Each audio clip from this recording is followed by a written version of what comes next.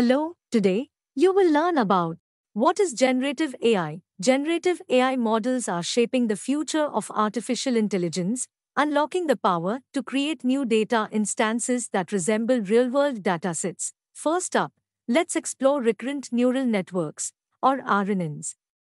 These are specially designed to handle sequential data, like text or time series.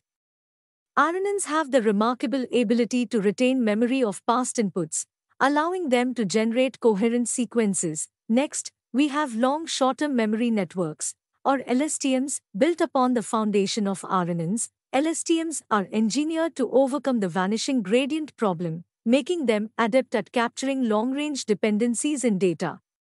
This makes them perfect for tasks requiring understanding of context and continuity, such as language translation or handwriting generation.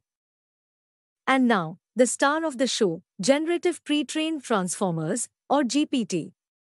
Developed by OpenAI, GPT has revolutionized natural language generation. By leveraging the transformer architecture and self-attention mechanisms, GPT can capture global dependencies in data with incredible precision.